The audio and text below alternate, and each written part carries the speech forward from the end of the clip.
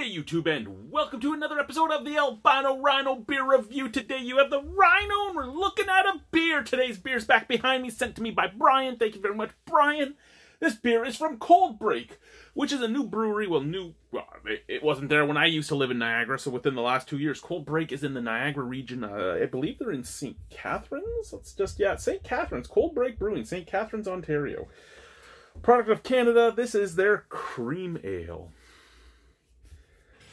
So uh, it says over here Krispy, uh, 4.1% alcohol.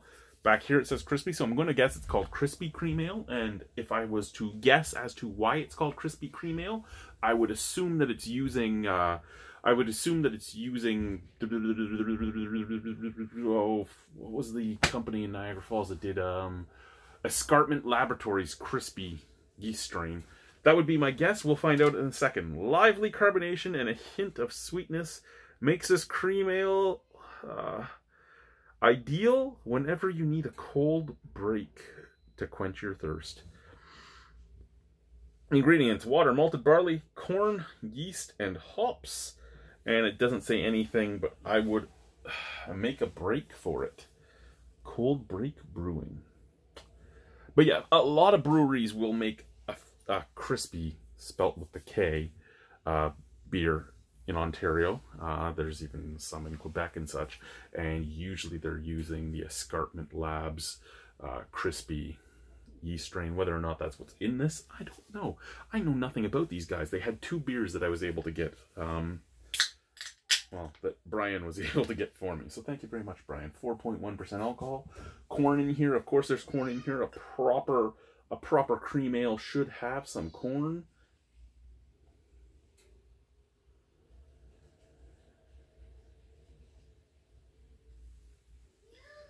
And wow, I didn't realize how hard my water was lately. Um, it's not usually that bad. It's usually bad, but not that bad. Wow. Mm. So one last look at the cold break. Bright white head. Slight haze to it. On top of the uh, bubbles clinging to the side bright white head, lots of snap, crackle, pop.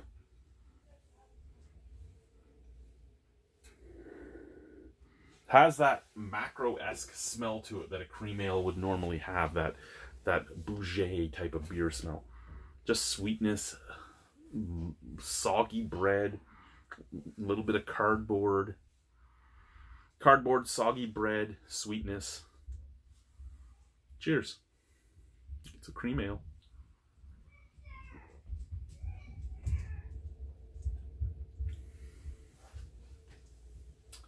It's a cream ale. I mean,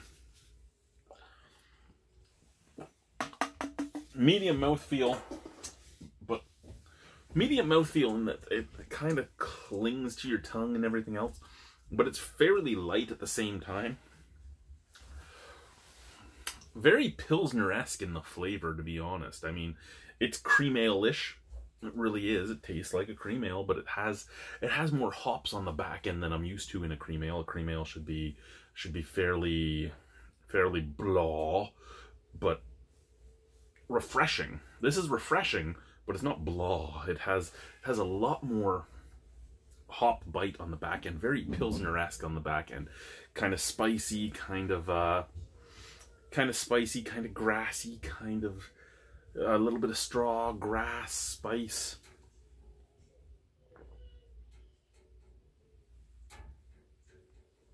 Forefront, pretty muted, a little bit of sweetness, just regular beer sweetness.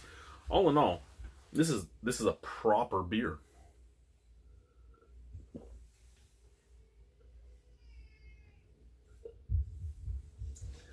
Get that thing cold drink it all day, any day. There's nothing wrong with it.